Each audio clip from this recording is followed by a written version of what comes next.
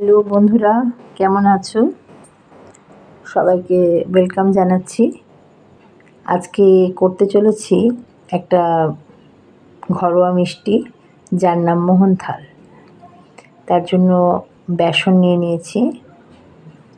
বেসনটাকে ভালো করে একটু চেলে নিলে ভালো হয়। বেসনটার সঙ্গে একটু একটু করে দুধ মিশিয়ে রাখছি। কিন্তু এই দুধটা বলা যেতে পারে যে তোমরা বলতে পারো যে একসাথে কেন মেশাচ্ছে না? একসাথে দিলে ব্যাপারটা খুব মানে কী বলব যে ফ্লাপি যে জিনিসটা সেটা হবে না, একদম লিকুইড হয়ে যাবে। এবার একটু ঘি দিয়ে দিলাম। ঘিটা দিয়ে ভালো করে নাড়িয়ে নিচ্ছি।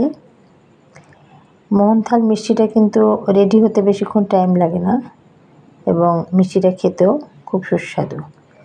যদি কাউরি বাড়িতে ডায়াবেটিক পেশেন্ট থাকে, তারা সুগার ফ্রি দিয়ে এটাও করতে পারে। এবার ভালো করে বেসনটাকে মিক্সিতে ঘুরিয়ে নিলাম। তারপরে কড়াইয়ে ঘি দিলাম। এবার আস্তে আস্তে গরম মশলা দিয়ে এলাচ, দারচিনি, এরপরে বেসনটাকে দিয়ে দিলাম। তাহলে প্রথমে দুধ দিয়ে ঘি দিয়ে ভালো করে হাতে ময়াম করে নিলাম। তারপরে পুরোটা মিক্সিতে ঘুরিয়ে নিলাম। এবার আস্তে আস্তে কড়াইয়ে নাড়াচাড়া করতে হবে। একটু রঙটা চেঞ্জ হবে বেসনের। তাহলে বা কাঁচা গন্ধ যেটা বেসনের থাকে, সেটা আস্তে আস্তে চেঞ্জ হয়ে যাবে। এইভাবে বানালে বাড়ির যারা ছোট ছোট সদস্য, তাদের খুব ভালো লাগবে খেতে এবং বড়রাও আনন্দ করে খাবে। আবার কিন্তু আমি সেম প্রসেসে যাচ্ছি। যে প্রসেসটা আগে মেনটেন করেছিলাম, আস্তে আস্তে দুধ দিচ্ছি। এই কিন্তু গোটা প্রসেসটাই হোল প্রসেসটাই কিন্তু লিটল অ্যামাউন্ট অফ মিল্ক দিয়ে দিতে হবে। আস্তে আস্তে এটাকে সফট করছে এই দুধটা। এটা একটু টাইম লাগে প্রসিডিওরে কিন্তু খেতে খুব ভালো হয়। আস্তে আস্তে দিতে দিতে এটা নরম হয়ে যাচ্ছে। কালারটাও আস্তে আস্তে কিন্তু চেঞ্জ হয়ে যাচ্ছে। আর বেসন হচ্ছে এমনই একটা ইনগ্রেডিয়েন্ট যা দিয়ে অনেক মিষ্টি করা যায়। অনেক রকমের, অনেক ধরনের মিষ্টি করা যায়।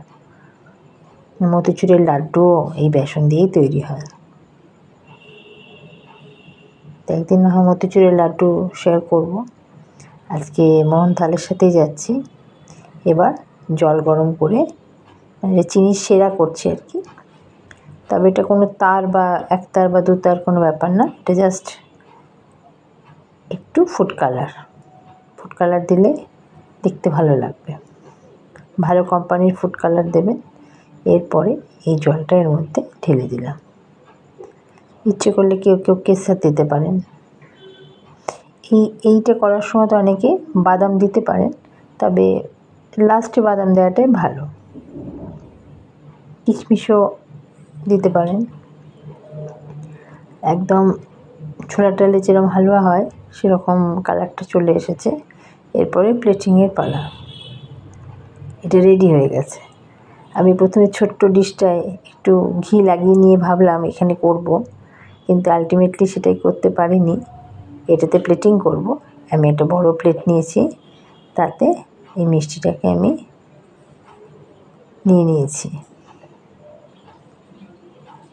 এবার মিষ্টিটা দেখো কি সুন্দর রেডি হয়ে গেছে। রেডিশ কালার চলে এসছে।